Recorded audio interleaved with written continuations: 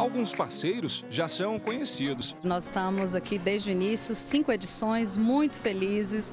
Nós ficamos sempre na expectativa para chegar final do ano e a gente aí colaborar com essa campanha. Outros estão chegando agora. A nossa expectativa é a melhor. A gente entende que é um projeto super interessante. A Lince já tem essa veia solidária, a gente já realiza algumas campanhas no decorrer do ano e a gente quer somar forças nessa campanha tão bonita. A Record TV Goiás lançou a quinta edição da campanha Natal para Todos, que arrecada alimentos para entidades filantrópicas. Você pode transformar o Natal de alguém e despertar o sorriso de quem mais precisa. Com uma doação, você pode realmente fazer uma pessoa feliz. Então, nesse Natal, junte-se à Record TV.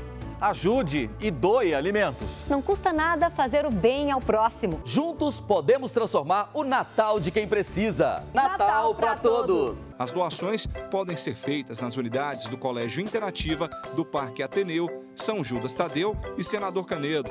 Goiás Escola para Vigilantes, na Avenida Anguera, setor aeroporto. Polo Imóveis, na Avenida T4, no setor Bueno. Unidades da Unimed Goiânia no Shopping Flamboyant, Centro de Diagnósticos da Avenida T7 e Espaço Sinta-se Bem, na Rua 15A, setor Aeroporto. E Lince Toyota, Avenida T4, setor Bueno.